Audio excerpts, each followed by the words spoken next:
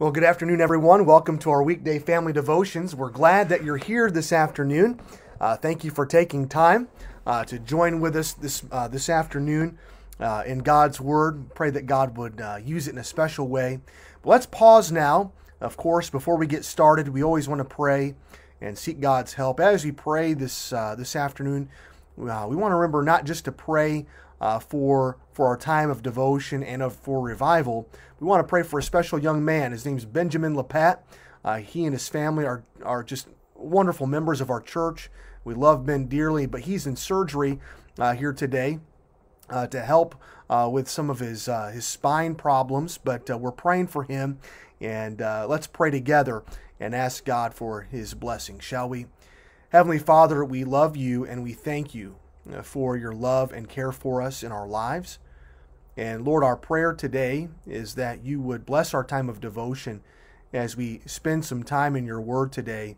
God, we pray that you'd encourage our hearts and help us, Lord, uh, to grow closer to you and have a deeper faith and trust and confidence in you.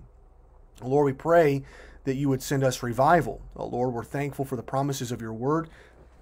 Now, Lord, there are many things that uh, you tell us in the Old Testament concerning revival. And Lord, we're thankful that you're the same yesterday, today, and forever.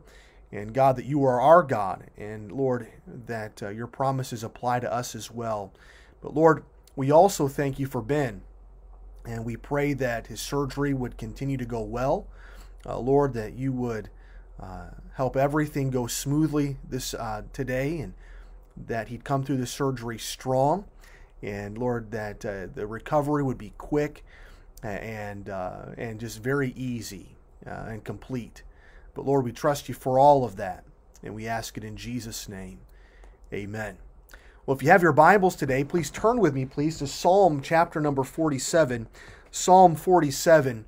Uh, we come, we find a very encouraging psalm today, and really they're all encouraging because uh, they all reflect uh, the goodness and grace of God in our lives. But notice what the Bible says beginning in verse number one. And uh, if you're if you're joining us on our Facebook page or YouTube channel, thank you for taking time.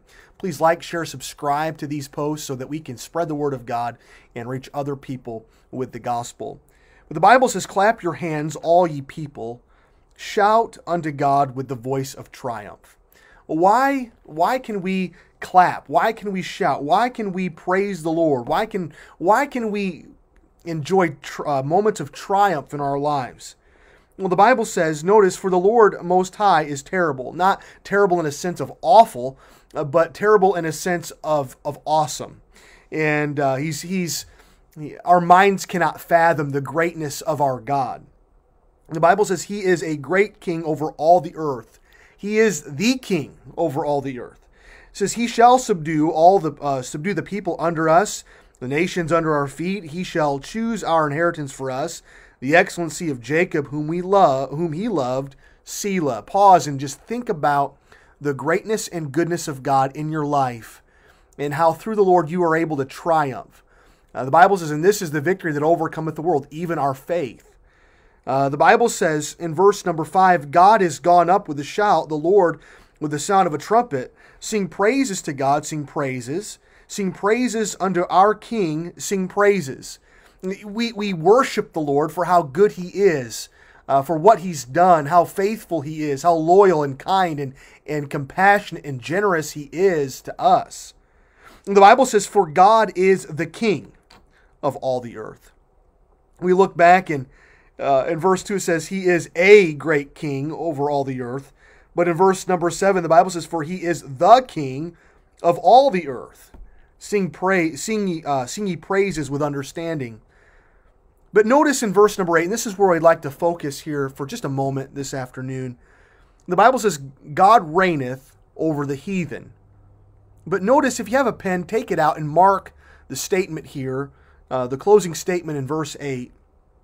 It says, God sitteth upon the throne of his holiness. God sitteth upon the throne of his holiness. We look back even in verse um, number 2 and we're told that God is terrible.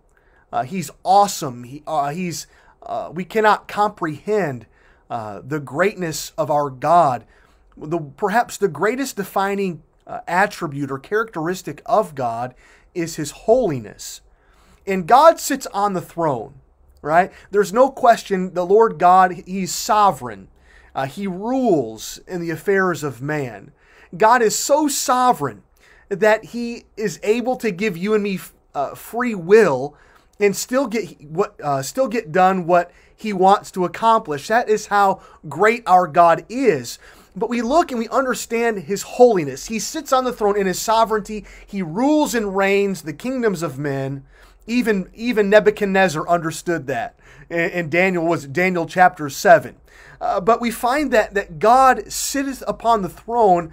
Yes, he's in control, but what kind of throne is he sitting upon? He's sitting upon a throne of his own holiness. What does that mean? Well, well, God is holy, right? He's sinless. Uh, he cannot lie. He loves us. He's righteous. He's just. Uh, every God is good, and because He's sitting upon a throne of His own holiness, it means everything that God does, He does right. He, that He does well, and that He does out of love, care, and concern for you and me that God makes no mistakes. What His will is, is right. You know, we cannot argue against it. All we must do is embrace it because we know that God is holy and He will never do what is wrong. And that's why we can praise the Lord today. That's why we can sing praise to our King. So, where are you in this moment of your day? What has befallen you today? What have you what are you facing today? What is it that lies ahead for you today? What has happened in the past? Well, we look back and we rejoice in the goodness and sovereignty of God because whatever God has done in your life is, is a holy act. It's he's done it in his own righteousness in his own holiness and it's good and it's beneficial for us. And the only thing we can do is step back, rest in Him, and sing praise to His name. Because the Bible says again in verse number 47, you know, understanding that God sits upon the throne of His holiness, we, we can therefore clap our hands and shout unto God with a voice of triumph. God wins. Aren't you thankful? Let's rejoice in the holiness of our God today as he rules in the affairs of our lives and of this world. Says he God reigneth over the heathen, right? But God sitteth upon the throne of his holiness. God rules, God reigns. What he does is right. Let's trust in him and praise him for it. Father, we love you and we thank you for this day. Uh, Lord, we're thankful for who you are, God, and, and, and what you are. Yes, Lord, we know that you're the king over all the earth, but you're holy, and you sit upon the throne of your holiness. And God, you do all things well. You do all things right. You never make a mistake. You never do what's wrong. God, you always do what is right. Therefore, our hope is in you. Lord, we can clap our hands and we can shout unto you with a voice of triumph. Lord, we're thankful for the confidence that we have in our terrible, awesome God. Lord, we pray today that you would encourage our hearts and strengthen us and help us live our lives for you. Again, Father, we pray for Ben and his surgery. Be with the doctors and all those attending there to him today, uh, that you would give them great skill uh, and ability far beyond their own, far beyond what their education and, and countless hours of practice have given. Lord, we ask that you would give them skill, precision, and God, that you'd strengthen Ben, that everything would go well today uh, in his life. And Lord, we just trust you for it. Uh, Lord, we're thankful for the promises of your word. Help us cling wholeheartedly to them. And Lord, we trust you for a great rest of our day. Bless us now, we ask, in Jesus' name. Amen. Well, thank you for being with us today. As always, it's a wonderful pleasure to have you here. We don't take uh, your time lightly. And uh, of course, there's a great many things you all could do but it's an honor that you join us in God's Word. We love you. We're praying for you, and we look forward to seeing you soon. May God give you a great day today, and Lord willing, we'll see you all tomorrow. God bless you all. Have a great day. Bye bye.